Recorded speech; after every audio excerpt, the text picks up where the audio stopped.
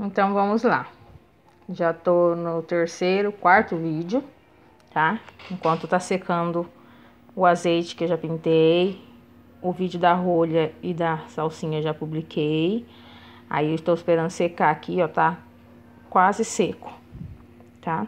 Pra mim poder fazer o vídeo. Então, enquanto isso, a gente vamos pintar esse pimentão que já tá por trás do pimentão vermelho. Ele vai ser o verde, ó. Então, vamos lá. É, eu vou usar verde musgo, verde veronese, verde pistache, mentira, verde maçã, verde pântano, preto e o verde pinheiro que eu tô pegando aqui.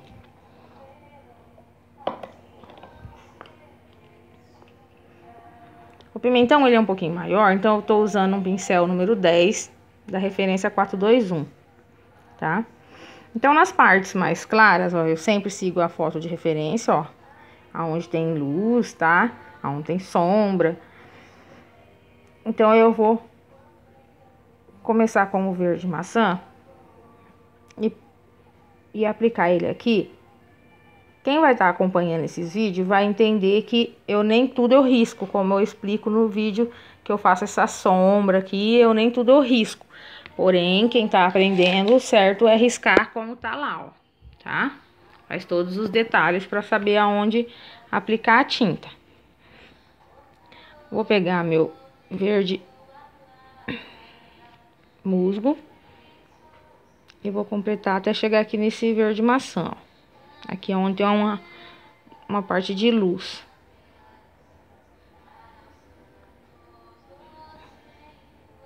Firmeza na mão, porque é um, uma parte que precisa entrar bem a, a tinta na trama do tecido.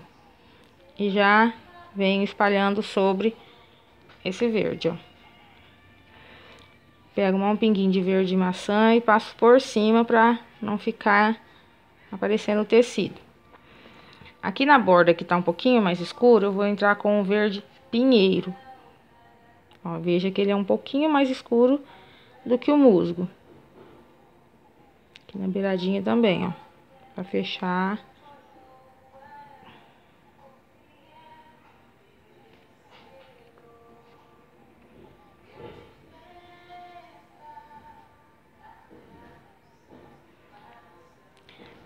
Esses pingos de luz, eu sempre costumo pôr na pintura depois de tudo sequinho, porque daí ele realmente fica branco.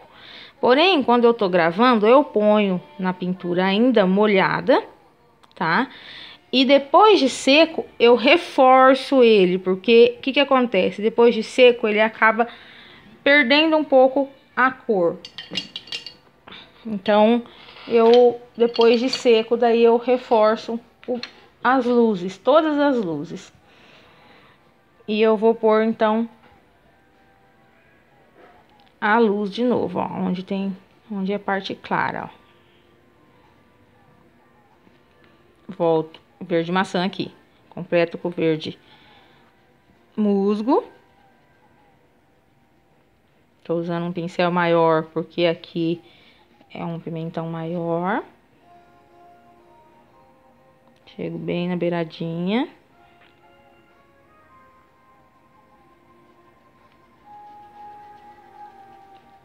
E aí, depois de todo pronto, eu vou publicar essa pintura na minha página, que a descrição vai estar tá aí no, no vídeo, tá?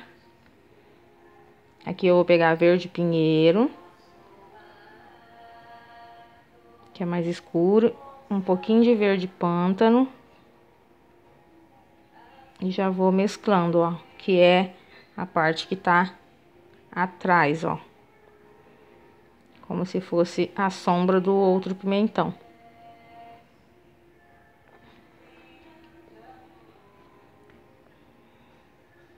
Peguei verde musgo, não é lavei meu pincel, porque eu quero que uma cor entra na outra, ó.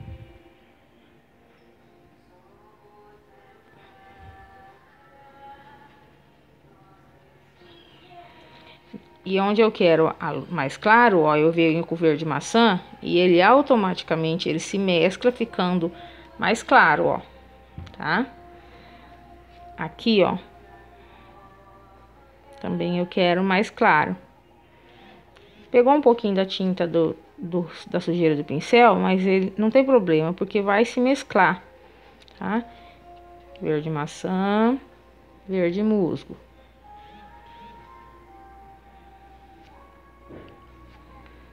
Esse, como eu falei no primeiro vídeo que eu expliquei, esse pimentão aqui eu dei uma modificada nele igual não tá no risco, tá? Eu só fiz mais essa parte aqui, aí aqui eu deixei ele mais comprido para me informar o risco.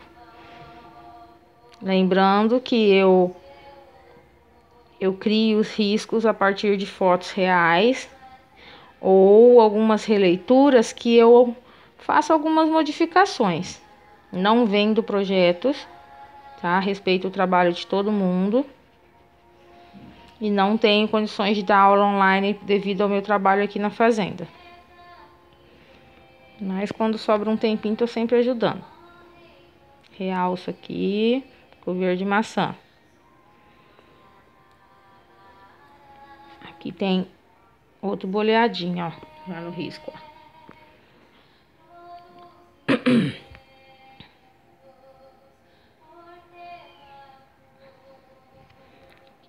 verde maçã, verde musgo.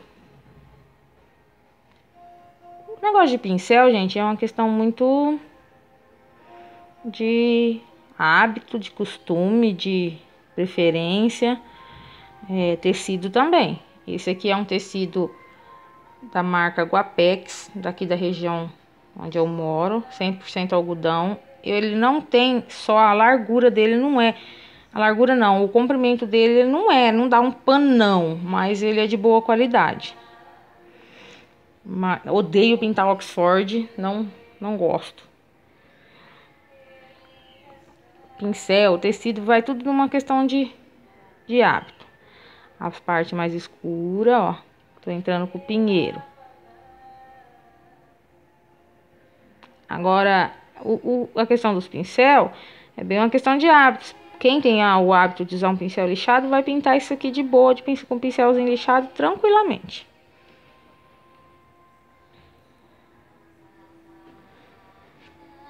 Deixa eu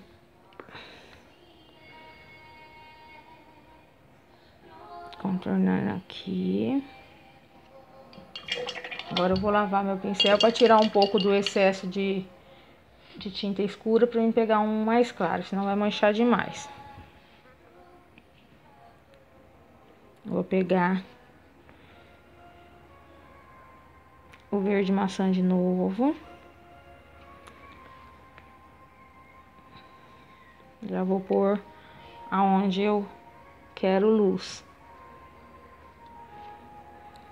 Completo com verde, musgo.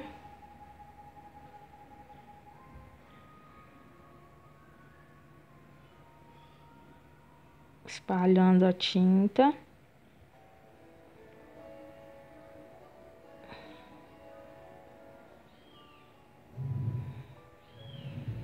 Tem algumas meninas no grupo bem ansiosa querendo ver a, a transparência. Praticamente tampou a tinta, tá vendo? Então eu venho com um pouco de uma pincelada, ó, de, de verde maçã e automaticamente ele clareou.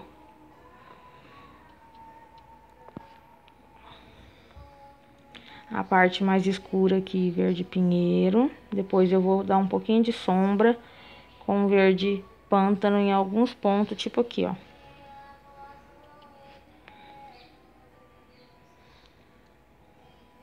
Como aqui, eu, aqui, ó, no, no na foto, então tá aparecendo inteiro, né? Aqui não, porque eu coloquei, desculpa, o alho na frente. Então, essa parte eu vou querer ela bem escura, como se fosse sombra desse alho, tá? Então, eu vou completar com o verde pinheiro e bem encostadinho aqui com o verde pântano, pra ficar sombra mesmo, tá? E quase não tem iluminação daí, porque é como se... É como não, é, é a sombra do, do alho, tá?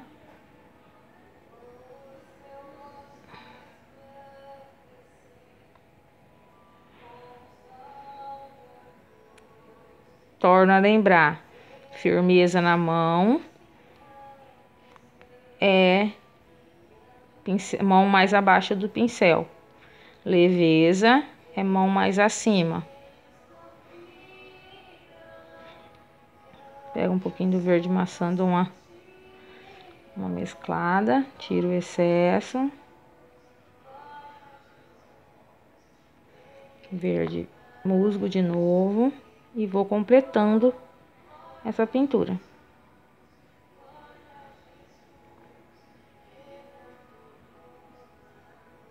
podendo, é, dependendo da, da, pressa que eu tenho da pintura, essa eu tô fazendo totalmente sem pressa, eu não acabo, acho que não acabo hoje, porque daqui a pouquinho eu tenho que ir pra cozinha fazer a janta dos funcionários.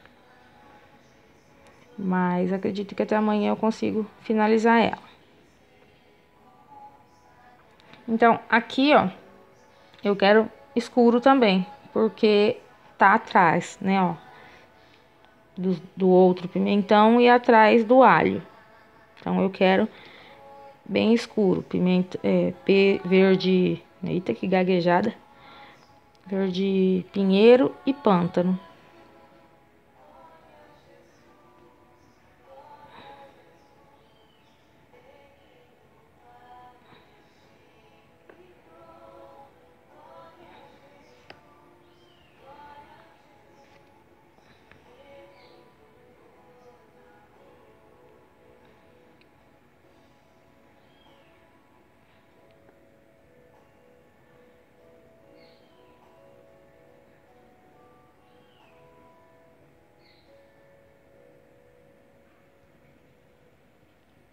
Dou uma boleada no pincel para tinta penetrar bem na trama do tecido, tá?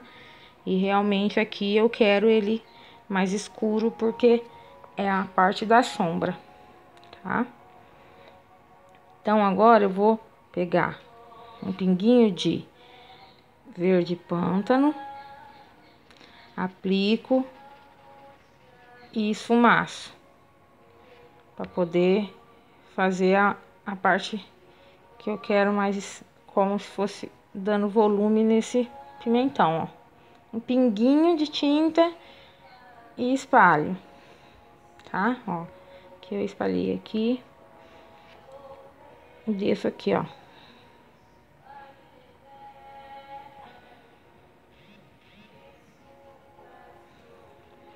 Aqui eu vou pegar uma, uma isquinha de verde pântano, encostar um pouquinho no preto, pra mim fazer o boleadinho aqui, ó.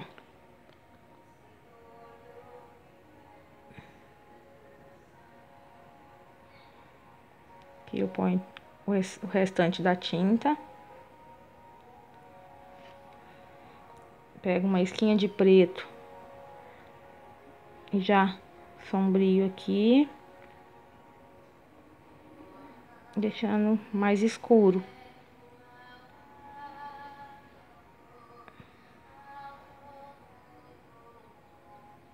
Aproveito bem a tinta do pincel. Aqui também, ó. De quininha, pega a tinta na quina do pincel, ó. E aproveita essa tinta dando o movimento do pimentão.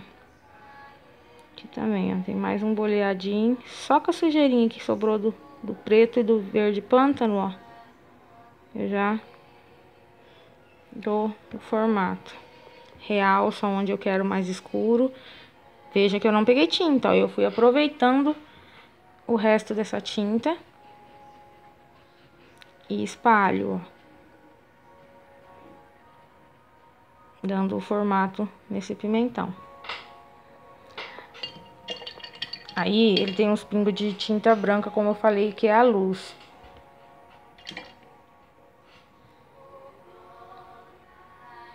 Eu vou vir com o branco.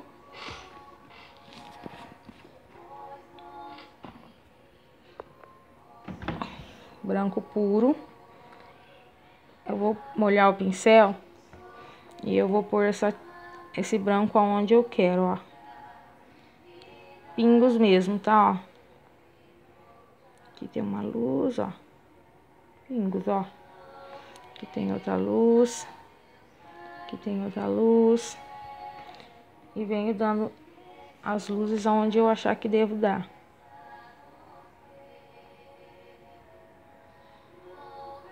Aonde tá mais fraco de luz, ó. Que eu dou só uma sujeira de branco, ó. Como eu modifiquei esse pimentão, aqui tem uma luz, ó. Gente, desculpa, eu tava filmando em um lugar errado. Aqui, ó, eu pus o branco, ó. Lembrando, igual eu falei no começo do vídeo, branco puro, tá? Depois de seco, você vem dar uma realçada nesse branco, ó. Dá mais uma pincelada nele sequinho. Aqui só a sujeirinha, ó. Quero que fique mais apagadinho. E aqui eu vou dar um, um pingo, ó. Aí agora a gente vai pintar com pegar um pincel menor. E a gente vai pegar o verde maçã. E vamos fazer o cabinho. E essa borda aqui, ó. Põe o verde maçã na bordinha todinha. Que é onde tem a luz, ó. Sempre seguindo a, a foto de referência, vai pegando o jeito de onde pôr tinta, onde pôr luz, onde pôr sombra.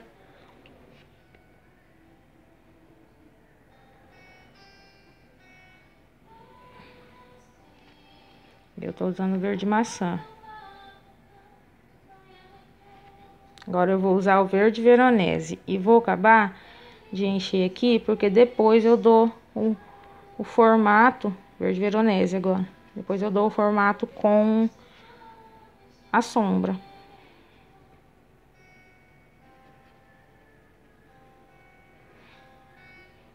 E acabo de preencher, mesclando toda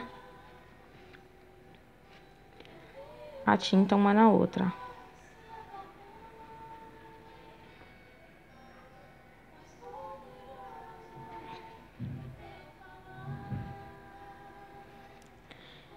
Agora eu vou pegar o verde pinheiro, vou dar sombra aqui.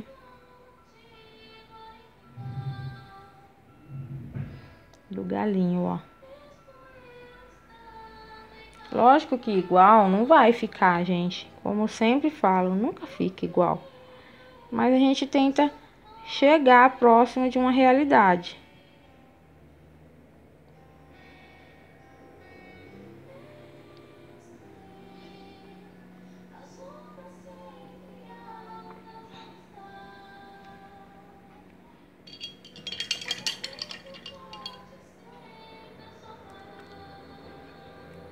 Só que aqui eu apaguei a minha luz, ó. Eu realço com o verde maçã, ó.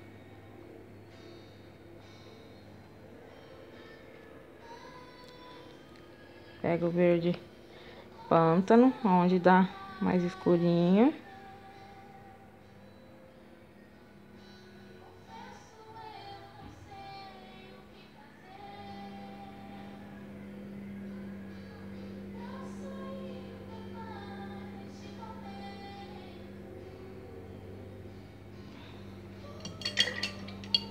Agora eu lavo meu pincel, vou pegar um pouquinho de branco. Tô, agora eu, eu esqueci de dizer que eu tô com o pincel número 6, um pouquinho menor, tá? E vou dar uma luz. Ó, aplico a tinta e espalho, ó.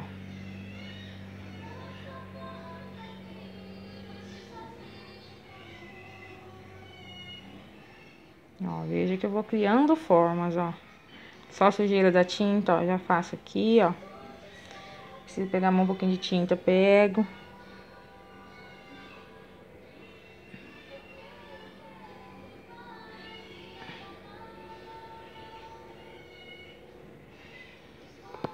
Pronto, pimentãozinho pronto. Lembrando que depois de seco eu dou uma realçada nesses pingos de luz que dá mais a... Fica mais próximo do, do real, tá? Ó. Né, lembrando que eu modifiquei esse pimentão, então eu fiz da minha forma.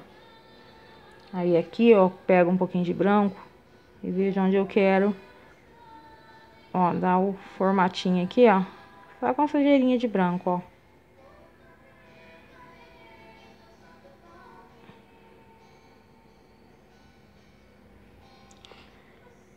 Beleza? Mais uma parte, mais uma etapa pronta. Agora o próximo vídeo eu vou fazer a transparência que já secou. Beleza? Até mais.